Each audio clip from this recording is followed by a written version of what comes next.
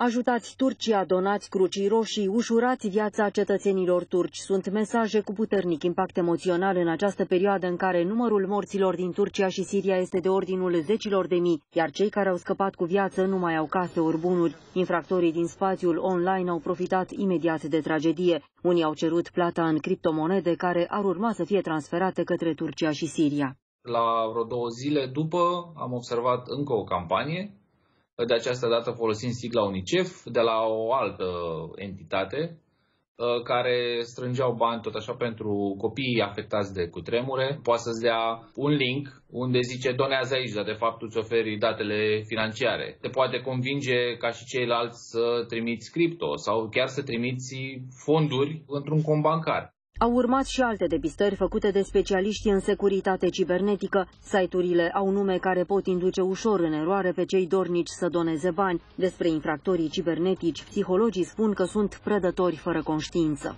Ei se gândesc doar cum să le fie lor bine și cum să aibă ei avantaje. Sunt atât de centrați pe ei încât uh, nu contează uh, ce suferință este în jur. Sunt acei oameni uh, lipsiți de sentimente, foarte reci, calculați, Specialiștii ne avertizează să nu picăm în capcana unor astfel de infractori, pentru care drama din Turcia și Siria este doar un nou mijloc de a face bani. Poveștile pe care încearcă să le vândă trebuie să pară cât mai credibile, așa că e nevoie de vigilență maximă.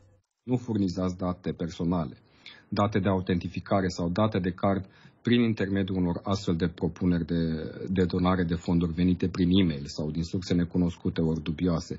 Efectuați plăți doar pe site-uri care sunt sigure.